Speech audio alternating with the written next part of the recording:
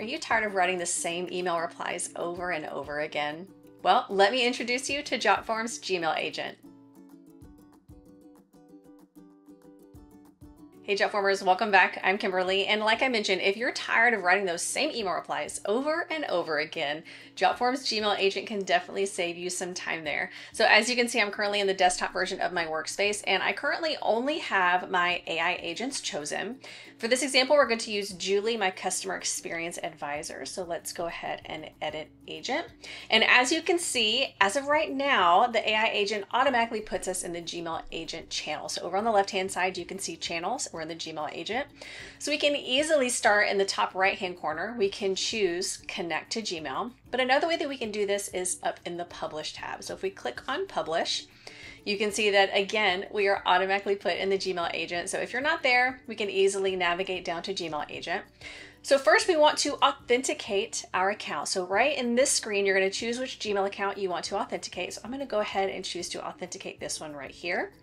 Now for you, during this process, it's going to be looking at all of your past emails. It's going to learn how you respond to emails. It's gonna take your tone and just your overall message reply and add it to its knowledge base.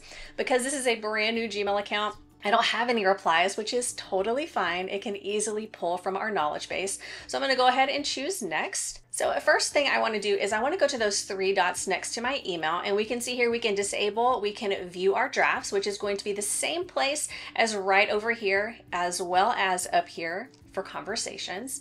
We can also change our agent's persona and we can also view the knowledge base. So I'm gonna go ahead and choose our agent persona. And right down here, you can see we're in agent persona. It dropped us down to the conversation style in the email tab. And here's where we can change that response link. If we want it to be really short, minimal, if we want to be super chatty, you can change that here.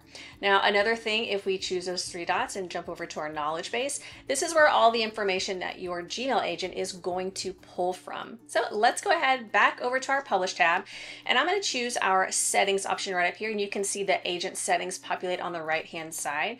So we can see under the general settings, we can automatically learn from those emails. It's automatically going to be turned on. That's going to make those replies be a lot better for you. We can also add in a custom greeting. For right now, it says, hi, thanks for reaching out. For this example, I'm gonna go ahead and leave that off. And then we also have the email signature. So if your email account automatically has an email signature, you can absolutely use that one. If not, you can add a custom signature right down here. I'm gonna go ahead and leave it back on my Gmail account signature. And then down here at the bottom, it says add an AI assisted note to let your users know that, hey, this reply was drafted utilizing AI. And you'll see what that looks like here in just a minute.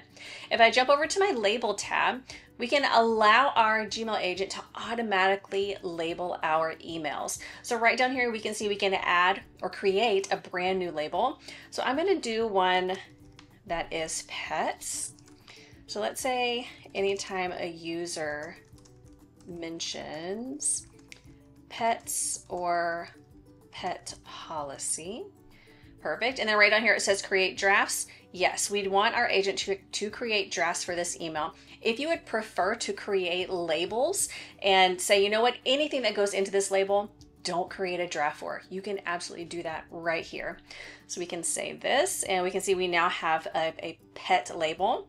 Now, if you have your own labels in Gmail Agent, you'll see them populate right down here at the bottom. Then under advanced, this is where it's going to show you which email types are going to be excluded. And you can also add in your own custom email addresses to exclude as well. So you can see here, of course, it's going to not draft replies for promotional emails, no reply emails, and those transactional emails. So let's close out of this and let's go ahead and give this a test. I'm going to go over to my first email. You can see this is one we're going to be sending emails to. I have only that one wedding label and no emails in my inbox or in my drafts. So let's head over here. I have one that's already drafted. So this is going to be about the pets, right?